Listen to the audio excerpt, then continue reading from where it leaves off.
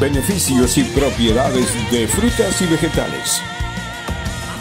Hola, ¿qué tal? Les saluda Jessie Picón y hoy les hablaremos del plátano. El plátano, o banano, es una herbácea perenne gigante. El fruto tiene forma de una baya oblonga. Durante el desarrollo del fruto, estos se doblan geotrópicamente según el peso de este, determinando esta reacción la forma del racimo. El color varía de amarillo, amarillo verdoso, amarillo rojizo o rojo. Propiedades y beneficios del plátano.